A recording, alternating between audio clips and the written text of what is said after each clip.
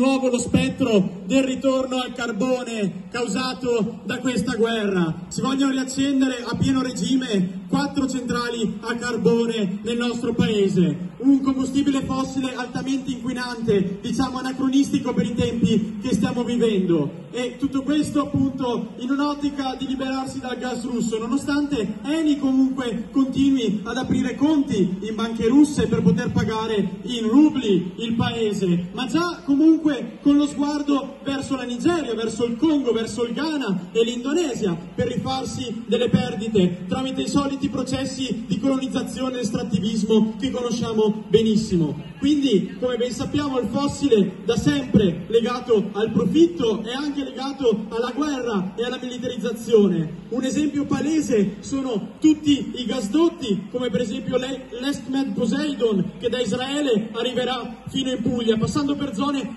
altamente instabili geopoliticamente e quindi andrà a giustificare una conseguente militarizzazione per proteggere giacimenti, infrastrutture, per espandere confini di, di paesi già eh, tra di loro in conflitto.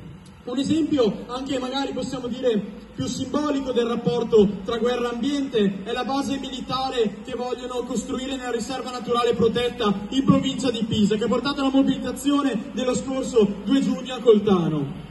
E insomma, mentre questo è il panorama che si delinea, a Trento vengono ospitati al Festival dell'Economia personaggi come Bonomi, che sostiene che la transizione ecologica può aspettare. Perché? Per un momento eh, di crisi, perché ci sono cose evidentemente più importanti in questo momento, come fare la guerra. A rallentare, a rallentare la, la, transizione ecologica comunque ci pensa già il nostro ministro Cingolani, anche lui invitato a parlare in questo festival.